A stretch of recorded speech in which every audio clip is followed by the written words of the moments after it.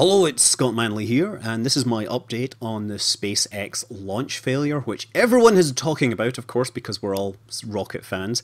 Unfortunately, this failure comes on Elon Musk's birthday, so happy birthday, Elon Musk, and I mean that in the sincerest way possible. It would have been great to see your rocket land on the barge in the ocean instead of landing in many pieces in the Atlantic Ocean. That's uh, that's why we call it rocket science. Space is hard, and getting into orbit is the hardest and riskiest part. You know, generally uh, every year we've had about five percent failures in launch vehicles, so this isn't too bad in terms of uh, SpaceX's record. It's still, you know, mean, means that they're not means they're better than some space programs, but it is unfortunate. Yes. Well, anyway, so what appears to have happened, and this is based on information Elon Musk tweeted out, was that around 2 minutes and 19 seconds after launch, there was an overpressure in the second stage oxygen tank. So this is the second stage that would carry the spacecraft into orbit.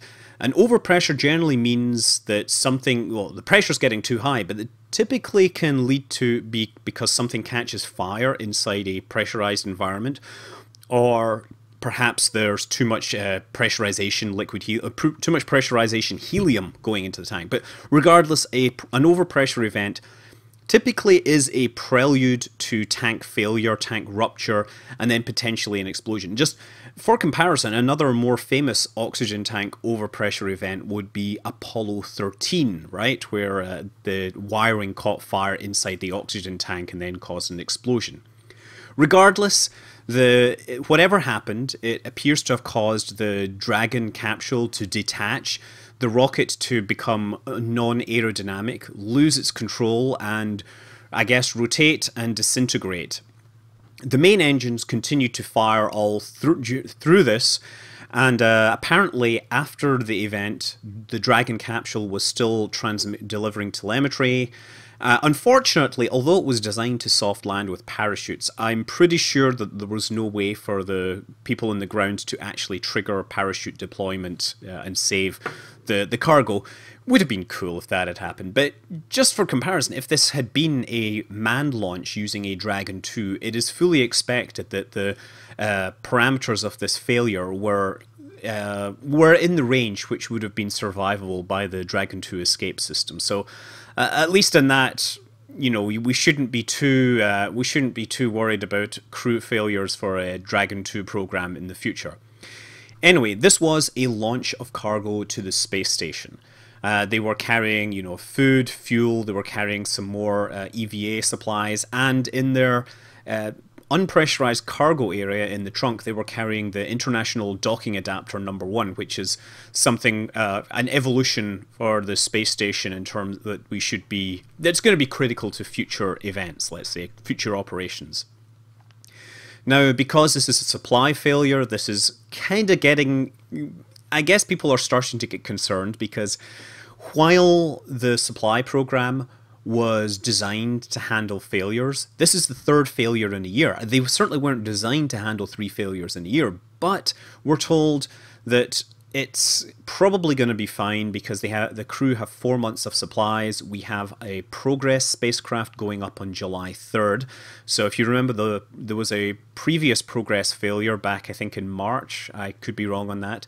And uh, incidentally, the other failure I'm referring to is the rather spectacular Antares launch failure. The uh, Orbital Sciences Cygnus spacecraft was on top of that, and it exploded. Exploded seconds after launch in October that was uh, some failure in one of their rocket engines there. So what we've got progress going up. We also have Orbital Sciences are going to continue to fly their Cygnus spacecraft, but they're instead going to fly it on a United Launch Alliance uh, spacecraft, an Atlas, I believe. They've got two launches scheduled, and then they're hoping that their Antares Mark II will be flight worthy at some point. Uh, in, at some point, so that they can start flying it on their own hardware again. Regardless, the failure of SpaceX's stuff is unfortunate. SpaceX itself is probably going to have to ground its launches until they can come up with some sort of uh, report on the failure. The FAA has basically said that this is a launch mishap. This is important. It means that SpaceX handle the investigation on their own, although they will have obviously access to, to everyone else that has information. It just means that the FAA isn't forcing them to to study things in any particular way. So one would hope that they have a launch cause assessment, a launch failure report uh, in in the next few months, and the FAA will then review that and then decide whether they can return to flight or not. So, they, I think it may cause a delay of their Jason launch, which is was going to be from Vandenberg later in the year. But I suspect that SpaceX will be able to fly again before the end of the year with luck. Uh, there are also other ways to deliver cargo to the space station. Now, the Japanese have got a spacecraft, the HTV, which is their automatic transfer vehicle that has been transferring uh, cargo, although I don't think there's any launches scheduled until much later. The Europeans have also been supplying stuff. They they have their autonomous transfer vehicle, which they they have give them cool names like Johannes Kepler, Jules Verne, Albert Einstein, and Georges Lemaitre.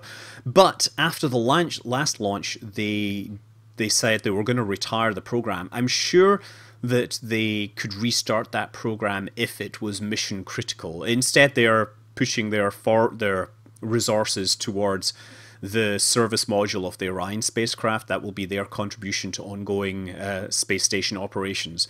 Anyway, uh, another, beyond the supplies being missing, there's another thing that the Dragon capsule did that the other spacecraft didn't do, and it is it was the only one which could return stuff safely to Earth.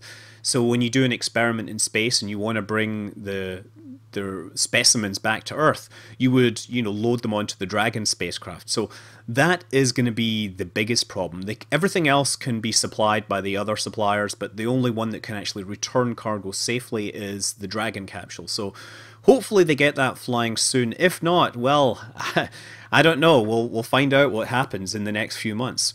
But yes, uh, happy birthday, Elon Musk. Sorry it had to be under such circumstances, but I hope that you will fly safe again in the future. I'm Scott Manley. Fly safe.